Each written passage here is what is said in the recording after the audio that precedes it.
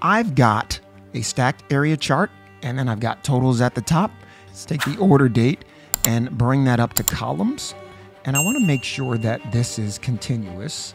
I'm going to drag the sum of sales to rows. And then I'm going to take a segment, take the segment column here, put that on color, and we'll go to show me and change this to an area chart. We can take the sum of sales and throw that on the label. I'm gonna hit control here and drag this over.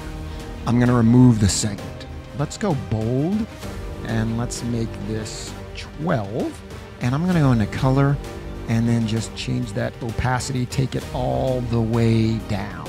And this is going to be dual axis. So I'm going to go to the alignment here and let's go top center.